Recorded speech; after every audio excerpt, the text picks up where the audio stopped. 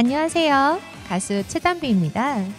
지난해 진행하려고 했던 한여름밤의 힐링 콘서트가 확정됨에 따라 여러분께 그 소식을 전하게 되었습니다.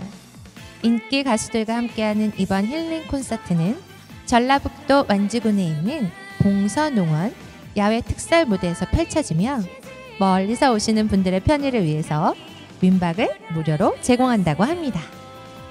계곡과 호수, 그리고 산세가 아름다운 곳에서 펼쳐지는 힐링 콘서트는 오는 8월 19일 토요일 오후 5시부터 통 바베큐를 비롯한 저녁 식사를 저녁 7시부터 9시까지 공연으로 이어지는 이번 힐링 콘서트에 여러분을 초대합니다. 여러분 8월 19일 날 만나요. 꼭이요. 가수 최단비였습니다.